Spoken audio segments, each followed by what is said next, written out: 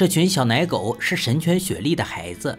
距离上次森林火灾营救，如今已经过去了两年之久。生活在阿尔卑斯山脚下的英勇男孩塞巴斯蒂安也有了很大的改变。成为小男人的他，已经可以帮着爷爷分担生活压力。而为了养活三个好大儿，雪莉也开始了打工挣钱，每天都在努力搬砖，给狗宝宝树立一个好的榜样。因为之前的一些英勇事迹，雪莉成了附近的明星犬。一家的生活倒也过得有滋有味。这天，蒂安放学回家，半路遇见了一个路痴胡子男，对方要他帮忙带路。善良的蒂安坐上车给其指路，但怎么也没想到，胡子男要去的地方竟是他的家。看到胡子男出现，雪莉的眼中满是恐惧，感觉就像对方虐待过他一样。胡子男直接表示要接走雪莉，着重声明雪莉是他的狗，四年来一直都没有停止寻找。若不是从报纸上看到新闻，他还以为雪莉已经嘎了。蒂安听完根本不信，他知道雪莉曾受过虐待，就算对方说的是真的，也绝无可能再把狗子带走。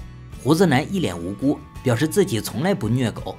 见他如此不开窍，爷爷便让蒂安把猎枪拿来。胡子男见状，只好悻悻离开。虽然暂时解决了难题，可胡子男临走时的眼神还是让爷爷感到隐隐不安。果然，第二天一大早，镇长就找上爷爷谈话。胡子男见来硬的不行，又开始利用法律维权，带来村民的书面证词，用来证明雪莉是他的狗。爷爷无比愤怒，却也没有办法改变事实，不得已只能找上胡子男私下交易。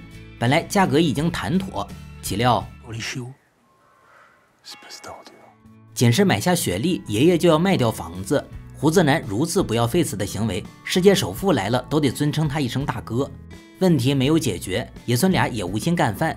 蒂安不想让爷爷为难，于是他做了一个大胆决定，趁爷爷睡着的时候偷偷收拾行李，准备带着狗狗们离开小镇。结果刚从地窖中拿出食物，就被监视的胡子男当场抓获。对方自以为是的避避半天，完全忘记了雪莉还在旁边。美丽的阿尔卑斯山脚下，迪安和雪莉在雪中艰难前行。突然，他们停下脚步，望向远方，发现一场风暴正朝这边袭来。但他们没有退缩。片刻功夫，暴风雪席卷而至，白茫茫的世界中，蒂安寸步难行。他鼓励着雪莉不要放弃，自己却脚下一滑，不慎摔倒。等再次起身，已然迷失了方向。风雪越来越大，蒂安的处境也愈加危险。饥寒交迫之下，终究耗尽最后一丝力气，昏死过去。恍惚中，蒂安见到了过世的母亲，母亲轻抚着他的脸颊，鼓励他一定要坚持下去。就在蒂安快要不行的时候，雪莉终于找了过来，见小主人一直昏迷不醒，急忙把他拖进挖好的雪洞中。三只狗宝宝也学着雪莉的样子，围在蒂安身边给他取暖。不知过了多久，风雪逐渐平息，厚厚的积雪中伸出一个脑袋。雪莉的不离不弃，成功从死神手里把蒂安抢了回来。风雪散去，阳光重新照耀大地。这次生死经历让蒂安和雪莉的感情更加深厚。随后，他们再次出发，终于来到曾经放牧的小屋。为了拥有一个舒适环境，刚一进屋，他们便忙碌起来，修理门窗、打扫卫生。雪莉一直跟着蒂安打下手，只有三个小家伙不知疲倦地捣着乱，自由的感觉非常不错。只是与填饱肚子相比，显然还是后者更重要。为了养活这一大家子，迪安开始学着外出打猎，还给雪莉制定了一套行动手势，看样子好像并不实用。别说雪莉看不懂了，王帝看的也是一脸懵逼。蒂安先后尝试了多种战术，最终发现还是钓鱼比较适合自己。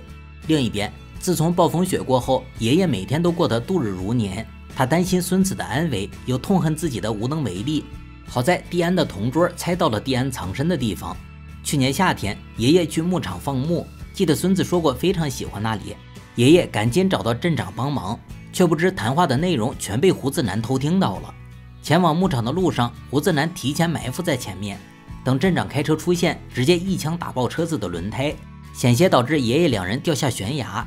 利用这个时间，胡子男率先一步抵达木屋，果然发现了狗宝宝们的存在。刚好这时，蒂安从河边返回，间隔大老远，雪莉就察觉到了不妙。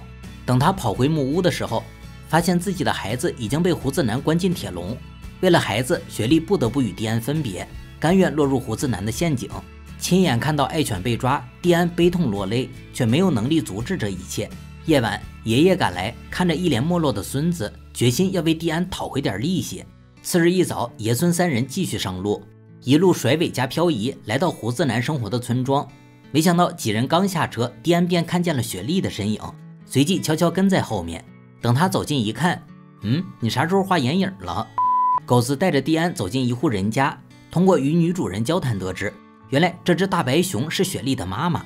正是因为闻到了女儿的味道，才会跟蒂安如此亲近。事后，蒂安找到爷爷，跟着女妇人来到一间小屋，这里是雪莉前主人生活的地方。老人病逝后，胡子男就把雪莉抢走了。这家伙是村里出了名的狗贩子，一脸恶霸长相，根本没有村民敢去跟他理论。加上当时又在打仗。久而久之，此事也就被大家遗忘了。只有女妇人于心不忍，找一个机会放走了雪莉。事情已经了解清楚，几人决定分头行动。得知胡子男喜爱赌博，镇长来到酒吧，以自己的小破车为筹码，与对方对赌，拖延时间。另一边，爷爷三人来到胡子男住处，因为没有钥匙，捣鼓半天也没能打开狗笼。不得已，蒂安只能暴露绝学。该说不说，锁的质量确实牛掰。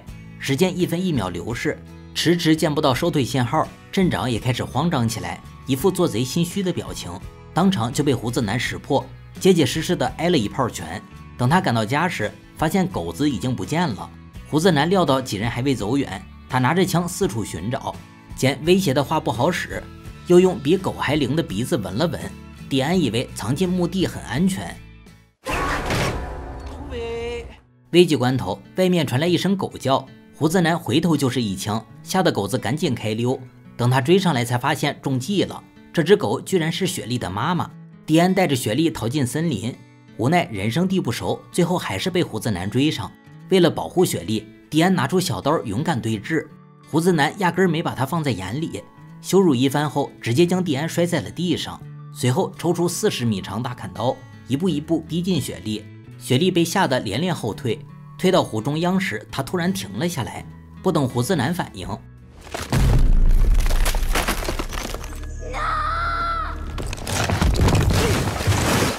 迪安冲到水坑边失声痛哭，痛恨自己没有保护好雪莉。但下一秒，奇迹发生了，雪莉游出了水面。迪安见状，急忙把她拉上岸，这一次说什么也不会放手了。